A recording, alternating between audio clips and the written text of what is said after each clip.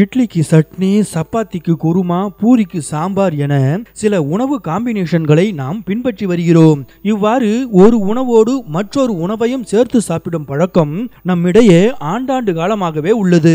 இப்படியான உணவு காம்பினேஷன்கள் பெரும்பாலும் நமது உடலுக்கு எந்தவித தீங்கும் விளைவிப்பதில்லை. ஆனால் சில உணவு காம்பினேஷன்கள் நமது உடலின் ஆரோக்கியத்திற்கு உகந்ததல்ல. அந்த உணவு காம்பினேஷன்கள் என்னென்ன என்பதை பற்றி இப்போது பார்ப்போம்.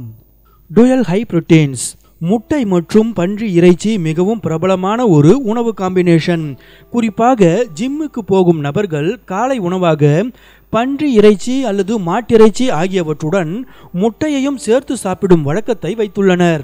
ஆனால் இந்த உணவு கலவையை தவிர்ப்பது நல்லது. ஏனெனில் இந்த இரண்டு உணவுகளிலும் மிக அதிக புரதம் உள்ளது மற்றும் உங்கள் வயிற்றில் கனமாக உட்கார்ந்து கொள்கின்றன. இந்த இரண்டையும் ஜீரணிக்க அதிக நேரம் எடுக்கும். அஜீரண கோளாறு உள்ளவர்களுக்கு இது மேலும் சிக்கலை ஏற்படுத்தும். எனவே புரத சத்து மிக்க உணவுகளை எடுத்துக்கொள்வோர் முதலில் மிதமான அளவு புரதத்தை கொண்ட உணவுகளையும் அதன் பின்னரே பன்றி இறைச்சி மாட்டிறைச்சி உள்ளிட்ட வலுவான புரத உணவுகளையும் சாப்பிட வேண்டும்.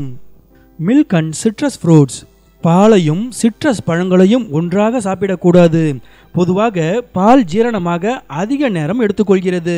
நீங்கள் பாலையும் எலுமிச்சம்பழம் உள்ளிட்ட பிற சிட்ரஸ் பழங்களையும் ஒன்றாக சாப்பிடும்போது வயிற்றில் இருக்கும் பாலை சிட்ரஸ் உறைய செய்து விடுகிறது.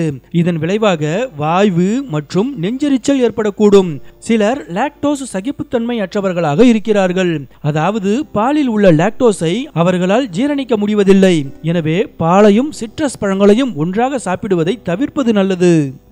மில்க் அண்ட் பனானா இரவு நேரத்தில் பாலையும் வாழைப்பழத்தையும் சாப்பிடும் பழக்கம் பலரிடமும் உள்ளது. பால் மற்றும் வாழைப்பழத்தின் கலவை வயிற்றில் கனமான உணர்வை ஏற்படுத்துகிறது மற்றும் ஜீரணிக்க மிக அதிக நேரம் எடுத்துக்கொள்கிறது. இதன் விளைவாக உடல் சோர்வை அனுபவிக்க நேரிடும். எனவே பாலையும் வாழைப்பழத்தையும் ஒன்றாக சாப்பிடுவதை தவிர்த்தால் தேவையற்ற உடல் உபாதையை தவிர்க்கலாம். ஒருவேளை நீங்கள் பனானா மில்க் ஷேக் பிரியராக இருந்தால் அதில் ஒரு சிட்டிகை லவங்கப்பட்டை அல்லது ஜாதிக்காய் தூள் சேர்க்கவும். ஏனெனில் இது செரிமானத்தை ஊக்குவிக்கிறது.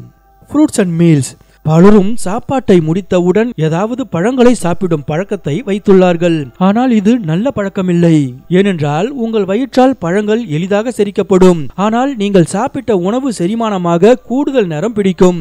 எனவே உணவு ஜீரணமாகும் வரை பழங்களும் தடுத்து வைக்கப்படுகிறது. இதனால் உணவு ஜீரணமாவதற்குள் பழங்கள் புளிக்க துவங்கி விடுகின்றன எனவே பழங்களை உணவோடு சேர்த்து சாப்பிடுவதையும் அல்லது உணவு முடித்த உடனேயே பழங்களை சாப்பிடுவதையும் தவிர்க்க முயற்சி செய்யுங்கள். cheesy food with cool drink.